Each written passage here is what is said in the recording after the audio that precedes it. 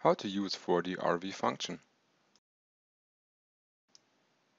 Start from Image-Com. Select the 3D volume, press the right mouse button and select 4D RV function. First of all, select the correct acquisition mode in the acquisition window.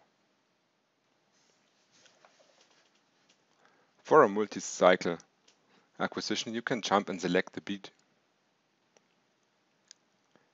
Use the help guide on the right bottom corner to place the landmarks. Note the sequence of images. Reposition the landmarks by drag and drop LV apex and mitral valve, level of annulus, RV apex and tricuspid valve, level of annulus,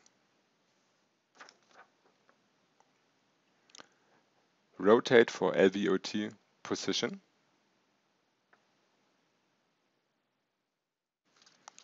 and place the both aortic valve points. Set the anterior and posterior junction landmarks. And at least place the blue horizontal line at the RV septum and free wall. To continue, press Beutel revision. Use the mouse wheeler to zoom the view. If necessary, modify the contour proposal in long and short axis view by drag and drop at the pause clips. Select the bottom tricuspid valve to adjust the position of the tricuspid or pulmonary annulus. To adjust the view, press the left mouse button on the arrow at the upper part of the image and move the mouse to the left or to the right side. To continue, press Tracking Revision.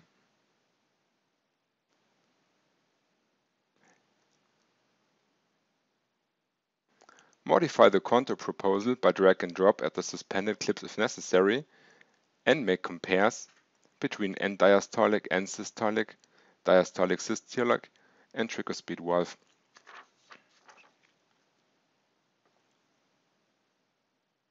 Make adjustments if necessary.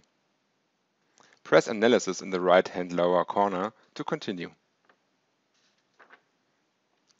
Switch between the tabs Global and 2D Measurements. Select the 2D tab and click on a measurement. It can be modified in the views by drag and drop.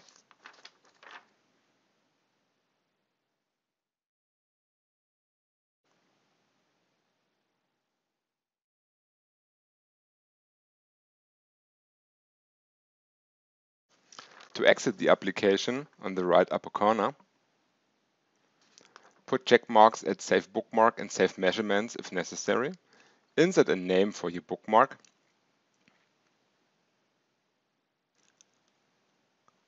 And exit the application, confirm with exit. How to open your bookmark? Reopen, right mouse click on the image, press RV function again, and you will be back.